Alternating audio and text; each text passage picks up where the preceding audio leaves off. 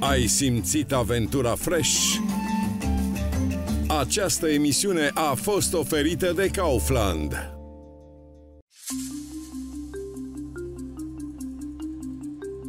Prima pe drumul zeilor ni s-a arătat Thailanda. Busola aventurii ne-a purtat din nordul triburilor de munte, prin vastele plantații de orez, prin sate și orașe, până jos spre mare. Cu volan pe partea dreaptă și cu soarele mereu în ceafă, zilele de filmare ni s-au părut mai lungi. De ce oare? Hai să facem ghem firul aventurii în regatul siamez la Asia Express. Thailanda nu am reușit să o explorăm, nu am reușit să o cunoaștem, a fost doar finalul primului sezon. Primul sezon uh, a fost mult mai scurt, dar am apucat să fim aici, am apucat să vedem și a apucat să ne placă, am apucat să ne îndrăgostim și, în primul rând, Thailanda este o țară foarte, foarte frumoasă și oriunde mergem, pe oriunde întorci camera, vezi lucruri frumoase și colorate și spectaculoase și lucrate și uh, e foarte reconfortant pentru că nu suntem în pericol, pentru că în afară de insecte și de multe, multe, multe grade și de imposibilitatea de a respira, totul e foarte frumos, foarte bine și foarte plăcut. Dacă am putea și respira, ar fi și mai bine. Dacă anul trecut am înghețat de frig în America, anul ăsta e grav. Deci căldură de la 37-38 de grade, atâta mi-arată termometru, dar cred că sunt mult mai mult de atât. Da? Pur și simplu am băut minim 10 litri de apă pe zi. Ne-am dat cu creme de soare, deja ne-am ars pe față, pe membre, pe unde am fost descoperiți, cu toate că ne-au dat o cremă de protecție care are factor de protecție 110%. N-am mai văzut niciodată până acum, dar tot ne-am ars. In Thailand, the main issue there is it's a bit radical, it's a liberal conservative country. Like they're very free spirited, they're very flexible, friendly, open, but strict in weird senses, especially when it comes to anything about the monarchy, about religion. So that was the only biggest challenge that we had. They cannot mention the king. Actually, in Thailand, they have a very strict law about talking about the monarchy. And it, it is almost without any clear constriction. So images, talking, even catching it on camera or putting any picture on the ground is not allowed. And you know, it's very hard to, when you're in the adrenaline of the moment, to keep reminding everyone, hey, this is not allowed. Cel mai des uh, mijloc de transport găsit aici în Thailanda de către concurenții sunt pick-up-urile astea și vreau să zic că 90% din transportul pe care l-am avut până acum a fost uh, în pick-up, în bena din spatele pick-up-ului. Bena e, E cel lupta mai... cu vântul, De ce? în primul rând. Nu, nu, nu, avem aer condiționat, Ai dreptate aici că nu murim de nu știm cald. capul în ochi în Aveți gură. spațiu, Spațiu e destul. perfect, da.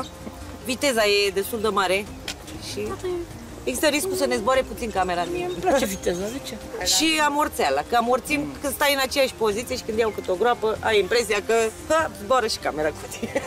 Iar uh, aceste mijloace de transport uh, au amortizoarele pe spate foarte, foarte dure. Iar la orice dâm, la orice de-asta, pur și simplu eu care stau mai în spate sar câte jumătate de metru. Într-una din zile a băgat cineva foarte mare viteză și când am coborât din mașină, în primul că aveam jumătate de față amorțită, părul în cap atât, și nu mai auzeam cu urechea stângă, că am stat pe stânga de data aia și, și muștele.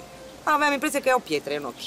Și la ei e ok, că la ei stau acolo ascunși în josul benii și Aia nu că cred ei că de stau mare. protejați, dar la mine eu am stat numai cu ureche, cu mâna așa la ureche. Nu mai auzeam, ești nebun. Și nu zic praful de pe față, dar m-am șmas până acolo. Toate ligioanele. Cât ai Ah, mers, ah. cât ai mers mai mult în dubă? În dubă, O în Bena, oră și 20 și ceva de minute. O oră Da, și cu 100 și ceva de kilometri la oră. Când ne-am dat jos, deci partea stângă simțeam că sunt mișcă ceva pe fața Aia, mea, da, știi? furnicături, furnicături, exact. Și bă, vorbeau cu mine cei de product, eu n-auzeam. Că aici e camera și era, aici auzeam, dar era camera și aici Am început puternic prima zi. Uh, am ajuns cu, fix cu un pick-up până la locație, m-am dat jos din pick-up, m-au ajutat concurenții, am luat camera de la ei și când să pășesc era un prag. Wow, wow, wow, wow! Pe care nu l-am văzut, o treaptă. Am pus piciorul pe jumate de treaptă, am alunecat și când să mă echilibrez, practic m-am și împiedicat așa treaptă și am căzut grămadă. Am încercat să protejez camera cât am putut de mult pentru că, vă dați seama, eu țin valoarea unui apartament în spate. Am căzut în cot, după cum se vede cotul meu încă e, a fost negru toată partea asta, acum aș revine, suntem bine. La Adidas de la mersul cu spatele mi s-au tăcit talpa în câteva zile și practic deja nu mai am talpă la Adidas asta. Cum e cu toți băieții? Cum le faci fața? Am zis să aveți răbdare, frate, eu trebuie să filmez. Mi-e greu. Nu pot să zic că nu. Ieri am simțit că mă ia leșinul. Mi s-au muiat picioarele de la căldură. Dar era un coleg de-al ei lângă ea și a ajutat Da. Anul trecut uh, am fost pe slow, uh, cu cleduții. În schimb, anul ăsta am prins extrema cealaltă. Uh, Suntem la cu Sorin și cu Brodnei și cu Tan, Nicolai, care mă aleargă. Eu sunt și mult mai mică decât ei, la ei un, un pas de lor înseamnă trei de-ai mei. și îmi dau sufletul după ei. Mi-e drag de ei, n-am ce să zic. Dar era să intru cu fața, nu s-a oprit în lampă. Gardul de aici. Aia era nasoală. Eu filmam pe lângă ei, deci am filmat foarte mult pe jos.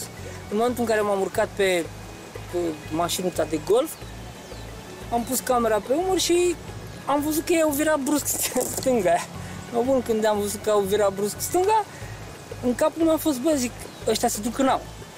Am lăsat camera jos, dar am, am plecat cu ea, camera filma, m-am dus și când am văzut că sunt în apă, dar ei au ieșit, adică nu era apă mare și așa, m-am liniștit și am filmat în continuare.